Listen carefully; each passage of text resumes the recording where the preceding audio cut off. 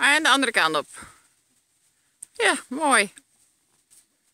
En ik zou ze gooien, dat je er niet naar je toe trekt.